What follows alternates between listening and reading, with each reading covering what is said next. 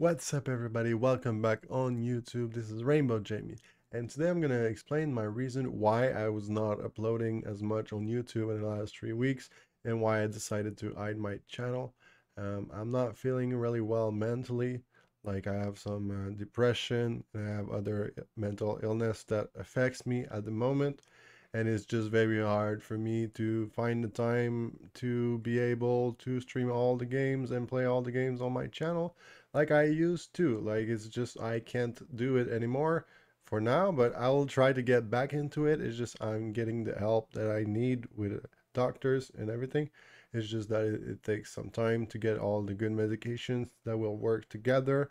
So I hope you guys have a good understanding of that and you don't judge me too hard uh, for taking care of myself. And yeah, hope to see you more in the future and I hope you guys enjoy my future content. Uh, I will be switching to Fortnite, Clone Hero, and Mario Maker 2. That's the focus I will be doing. Um, I tried Need for Speed Unbound, but I didn't like it like as much as I thought I would. So yeah. So thank you guys for watching the video, and I'll see you in the next video. Bye.